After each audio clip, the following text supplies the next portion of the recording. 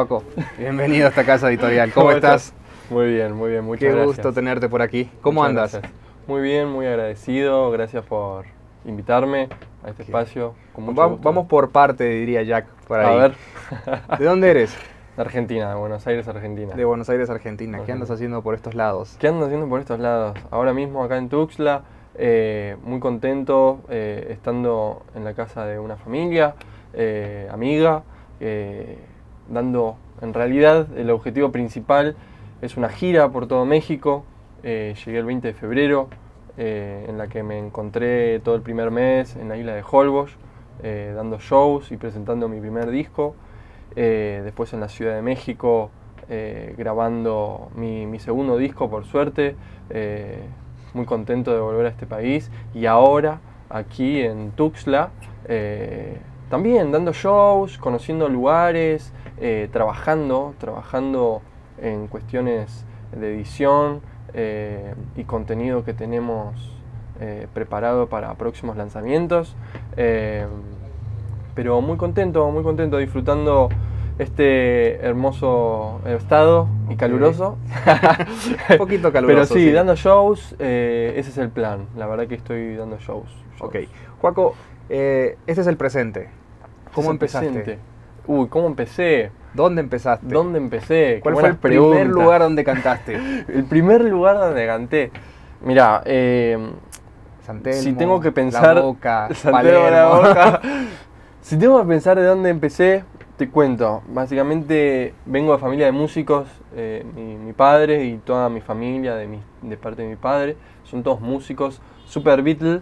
Eh, Ok. Entonces, desde que A nací. que vi- viene ahí una esencia, Sí, claro. Desde que nací mamé mucha música en la que llegaba eh, a la sala de ensayo en la casa de mi abuela donde vivían todos mi, mi- mi familia. eh, en una de sus habitaciones armaron la sala de ensayo, que justo yo vivo en donde vivo, a dos cuadras tengo la sala. Entonces yo de chiquitito iba a escuchar, eh, veía sacar los instrumentos. ¿Viste? De Y- y chiquito lo- todo y- es más grande. Y lo que significaba también Lo en que- aquel momento todos los instrumentos. Sí, yo con 23 años, eh, hoy, ¿no? en ese momento, eh, no sé, teniendo, obviamente desde el uso de conciencia, porque antes no me acuerdo, pero sí, todavía ya estaba ahí la cosa, pero no sé, a qué edad, tipo 6, 7 años, teniendo conciencia de ir a la sala de ensayo y, y verlos tocar Beatles, también es eso como muy fuerte, ¿no? Claro. Que, a la vez no solo escucharlo, sino interpretarlo como lo interpretaban ellos, era muy fuerte y, bueno, a esa edad, a los 7 años aproximadamente, yo ya me quise sentar o hacer algo y empecé con la batería. Yo empecé tocando la batería a esa edad. En mi colegio, en la primaria, se hacían todo- todos los años, fines de años, hacían fiestas. Los y famosos mi- festivales, sí, los claro. famosos festivales, claro. Y mi padre y mis tíos siempre les ofrecían eh, así de, de buena onda un show, ¿viste? Son super showmans aparte. Entonces, Super Beatle. Y mi primera vez que toqué en vivo eh, realmente fue frente a muchas personas, en realidad. Fue para todo el colegio y los padres, o sea, no sé, estamos hablando de 300, 400 personas que, que bueno, me practiqué una o dos canciones en la batería y me subí a tocar unas canciones de los Ah, Beatles ahí en, en el escenario del colegio. Eh, hay fotos por ahí. eh, Ahí nos las vas a mandar para que las Dale, compartamos. acá va a estar. bueno, en algún lado. Eh, bueno, ese fue como el primer acercamiento en el cual eso fue evolucionando al cabo de los años. Eh, la verdad que siempre escuché mucha música. Soy amante de la música también, además de músico. Eh, y al cabo de los años eh, fui creciendo, fui tocando la batería, pero cuando fui creciendo me di cuenta de que necesitaba algo más, que me estaba pasando. Era, es, es raro, pero eh, cuando veía una guitarra me daba la sensación de que en algún momento iba a aprender a tocar la guitarra. ¿Viste? Tenía como esa sensación de que lo necesitaba. Como que algo Era dentro parte de del mí complemento. era parte de mí. claro. Y después me di cuenta de que eso era porque estaba necesitando componer canciones. Yo sin saberlo, porque realmente eh, siempre mi, mi- mi papá me dice, yo la verdad que nunca te enseñé a componer ni a crear canciones. Aparte ellos tampoco son, de son compositores. Entonces, em, pero bueno, obviamente yo mamé mucho de todo eso y, Sí. y lo combiné, ¿no? Hasta que, no sé, a los 17 años, 16, me, me puse a aprender a tocar la guitarra, empecé a tocar la guitarra. Al cabo del año, en- justo interludio entre terminar la secundaria y empezar la universidad, justo que comentaba geología antes, eh, yo estaba empezando a estudiar geología en la universidad, yo estaba con la ciencia a full eh, y estudiando guitarra, ¿viste? Aprendiendo que esto que lo otro, hasta que también me empecé a encontrar que cada vez que iba a la facultad, 5 de la mañana que me levantaba con un mate, me iba al colectivo y en el colectivo era escribir, escribir, escribir, escribir, volver de la facultad, escuchar música, emocionarme, ¿viste? Y, y me, me lo pregunté Ahí, claro. me lo pregunté, es que eso es muy loco, que hay veces que uno no se pregunta las cosas, ¿no? Como, yo dije, ¿por qué no me puedo dedicar a esto y generar esto que, que- que- que está generando este artista hacia mí? Eh, ¿Por qué no puedo generar eso yo? ¿No? Nunca me lo había preguntado, como, ¿por qué no me puedo dedicar? Y cuando me hice esa pregunta, Se terminó la carrera. eh, sí, no, cambió todo, cambió todo, mi perspectiva, mi percepción, mis pensamientos, y dije, ok, esto es una posibilidad, eh, y sinceramente la quiero hacer. Bueno, empecé a ir a la facultad, qué sé yo, hasta que en un momento yo seguía tocando, empecé a componer mi primer canción, Estresol, que habla justamente un poco de eso, de, de- de- la primera frase dice, el sol ríe, nos ve alejándonos y él solo parpadeó. Eh, básicamente, justamente estaba con la ciencia full y se ve que ahí Claro. combiné, eh, de que claro, el sol, el universo, tiene una escala astronómica muy grande, el sol tiene millones de años y para el sol somos un parpadeo, parpadea y ya no estamos. ¿me explico? Entonces fue como que mezclé todo eso que me estaba sucediendo con el hecho de la gran frase de seguir tus sueños, como un poco eso. Eh, y en una de esas le fui y le dije, papá, te tengo que contar algo. Eh, se lo conté, no tuvo problema. Sí, Papá músico, feliz. Papá músico. No, no feliz, o sea, sí feliz, obviamente, pero sin problema. Eh, pero bueno, mi madre un poco más Sí. estricta, ¿viste? Ahí, De estar para ella ca- tocar la de estar guitarrita. empezando la carrera a Sí. cambiar dinámicamente. Aparte geología, que ciencia y que vos vas y ya estás como posicionado. Y así empezó todo hasta que mm, dejé la facultad y me metí de lleno a, a la música y así empezó todo. Empecé con talleres de producción, empecé a grabar mis canciones. De repente cuando empecé a crear el primer disco, mi padrino, mi tío, el que, que te comento está en la ciudad, Pablo Amad, eh, me dice, che, cuando puedas, esto plena pandemia, venite a grabar el disco. Y yo dije, ¿en serio? Grabar mi primer disco en México, ¿viste? Era como Claro. una locura, encima con Mamu, que es de Pablo, que es gran amigo de la familia, un músico súper talentoso. Eh, y tuve la posibilidad de viajar a México, grabar mi primer disco en el 2021, que está por lanzarse ahora, ya en dos meses. Eh, y, así se fue creciendo todo, de repente grabar el disco, producir, eh, grabar. Conocí a Adrián, que con Adrián eh, justamente lo conocí cuando llegué acá a la Ciudad de México y también conectamos un montón en toda la cuestión audiovisual, productiva, Ya están amistad, trabajando y que juntos ahora en un estamos, proyecto. Ahora estamos trabajando juntos en un proyecto eh, muy grande que está empezando de una semilla muy fuerte, de, de, bueno, de hambre, de ganas, de, de hacer, crear arte, desde Y de lo seguir los musical, de seguir los sueños, y desde lo audiovisual, eh, videos, cortometrajes. ¿Recuerdas cuál fue el primer barcito donde tocaste en Buenos Aires? Eh, bueno, sacando, yo- o sea, yo solo. Sí. Eh, por suerte la primera vez que... A ver, pasó esto. Yo toqué con mis padres en varios lugares, en colegios, en algunos bares. Después yo tuve una bandita que no era mía, sino que era del papá de un amigo, Sergio, que lo quiero un montón, que tenía músicas de rock and roll y yo le dije... Yo, viste, estaba en todas, quería estar en todas. Yo en ese momento estaba empezando a componer y digo, quiero meterme en la banda. Y me saqué las guitarras. Entonces, como que el primer lugar, no siendo, no siendo yo solista, fue en La Dama de Bollini. No sé si lo conoces, No, en no. Recoleta. Ok. Eh, muy lindo lugar. Pero yo con banda, yo, super argentina, yo. el yo, eh, en banda, presentando mi música y mi primer disco, la primera vez fue en el Club de la Música. Es en Villa Ballester, es un Ballester. espacio muy lindo y agradezco mucho esa posibilidad porque también un hermoso sonido, una hermosa gente que, que, que, viste que compatibiliza con el lugar, de sentirse cómodo es muy importante. Eh, y eso fue el año pasado. O sea, la primera vez que empecé a salir a tocar mi música realmente, así como decir, voy a presentar mi música. Claro, tu música, lo Mi que tú música. produces, lo que tú generas. Claro. Exactamente. Y en banda, que, que fue un gran trabajo, pues fue ensayar tres meses antes de empezar a tocar, ¿viste? Eh, Recalcar, banda para nosotros es grupo de música, no es banda de la banda. Exacto. De, la banda de cómo se dice aquí, ¿no? De- Exacto, de disculpa. Eh, banda allá en Argentina es el grupo musical, ¿no? Exactamente. Es, eh, ¿cómo le dicen? ¿Agrupación? ¿O cómo? Sí, agrupación, grupo. agrupación. Es, es que aquí generalmente. Grupo. Sí, grupo. Grupo, en grupos. La primera vez que salí a tocar fue en grupo y fue en el Club de la Música, en el cual hice varios shows, Club de la Música, Niceto Bar y The Roxy. Eh, y fue un sueño. Sí, porque es lo que te, comentábamos fuera de cámara, ¿no? Hay una generación en Argentina, creo que en los 80 fue que empezó, que todos los bares empezaron a tener esa dinámica de música, eh, trova y demás. Y aquí en México empezó en los 90, 95, tal vez 2000, de que ya se incorporó como tal, ¿no? Porque si no, tenías dos o tres lugares, pero no eran la mayoría. Hoy en la mayoría de los lugares donde vas encuentras de todo un poco. Encuentras rock, encuentras música, encuentras banda, encuentras... Claro, ya, mucho más variado. Mm. ¿sí? que antes no era tan común.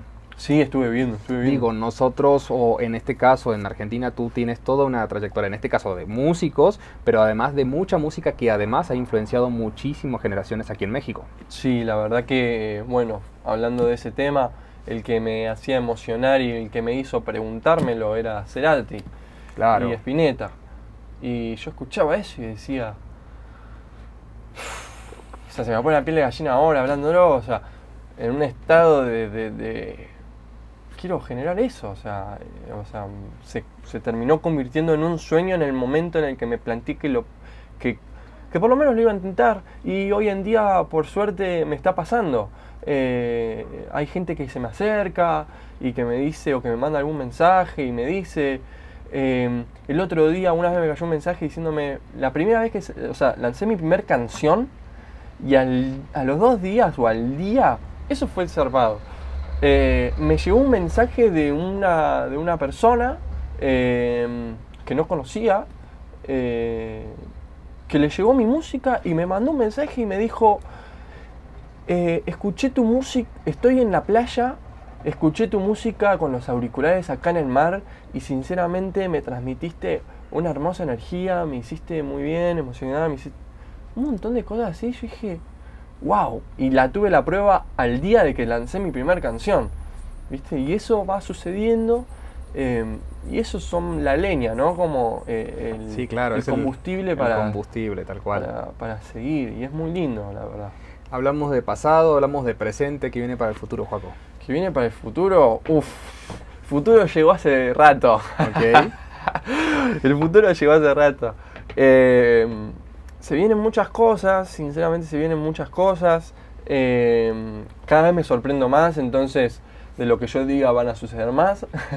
Pero por el momento lo que se está germinando y se está llevando a cabo, básicamente primero es el lanzamiento de mi primer disco, Landia. eh, en el cual ahora muy muy pronto voy a estar lanzando El Beso, que es el último single promocional del disco. Eh, también estoy terminando de grabar mi segundo disco para poder, eh, para poder publicarlo también este mismo año. Eh, además de eso, eh, bueno, toda la gira, que esto es un sueño sinceramente para mí, eh, poder estar haciendo una gira acá en México. Claro. Y fines de junio me voy para Europa. me voy para Europa para continuar con la gira. Entonces es una gira realmente internacional. y es impresionante porque la verdad que es un sueño decir, listo, estoy lanzando mi primer disco. Aparte estoy acompañado de un gran amigo, Adrián Dauzón, con el que estamos haciendo un montón de trabajo juntos. Eh, ahí él acompañándome en todo lo que es la producción audiovisual y dirección. Estamos preparando, como te habíamos comentado antes, eh, cortometrajes musicales para mis canciones.